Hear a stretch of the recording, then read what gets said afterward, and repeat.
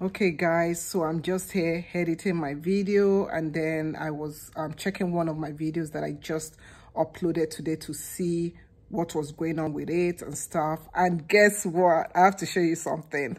Look at that. When did youtube start doing three ads? Oh my goodness. I was like the video is not playing. What is going on? They're doing three ads now on your videos. So um yeah i have you any of you guys seen this happening where youtube is now doing three ads? You guys check it out. Three ads. This is is this a plus? Is this a minus for the youtube content creator? This is actually good. It could mean if people watch your ad you could get paid more.